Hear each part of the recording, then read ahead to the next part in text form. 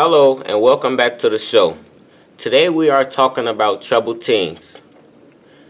From stealing, from stealing to fighting, these teens are getting in trouble at school and home, and even with the law. Let's meet our first guest, Taylor's mother.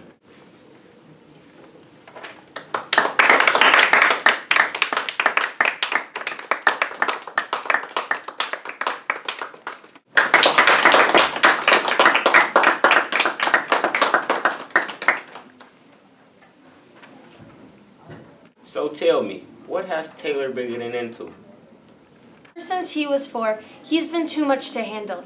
He got kicked out of three preschools for biting, hitting, and making fun of other kids. Nothing's different now. He doesn't come home at night. He uses drugs. He's been hanging out with all these boys who are 20 years old. Last night, he even threw a chair at me.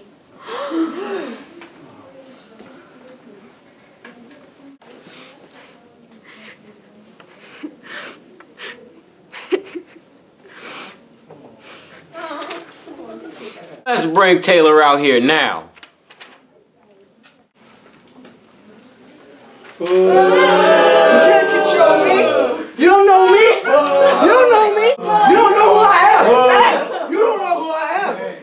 You guys cannot control me. I'll throw a chair at you too.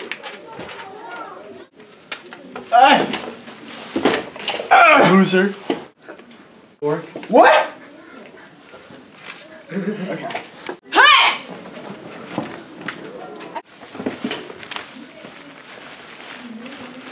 I believe you! Don't you ever disrespect your parents! Sit down! Make me. Make me. What? When you're speaking to me, you will say no, ma'am.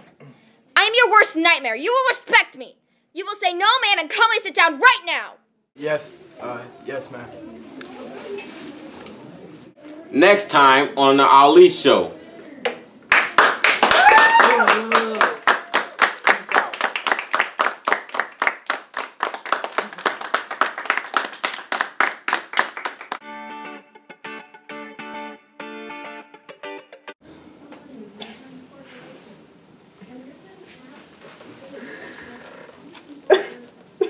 Sorry, mom. I forgive you.